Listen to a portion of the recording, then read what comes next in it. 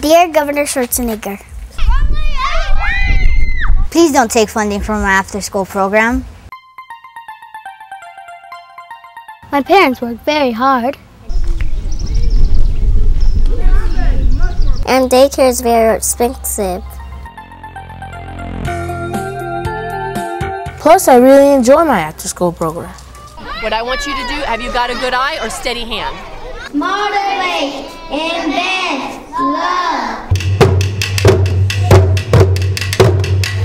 Where I get to do things like art, Play basketball. go for a hike, Cook. Dance. Everyone that's on the hill, for your safety.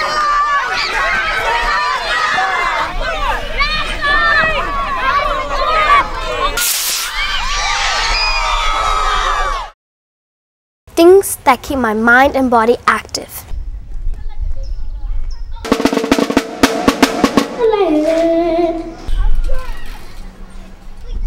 and will help to keep me out of trouble. Watch your words, they become action.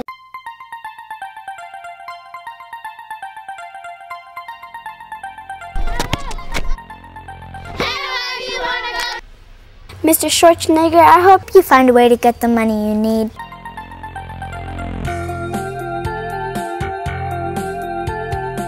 I hope you don't have to take it from me. From me. From me. From me. From me.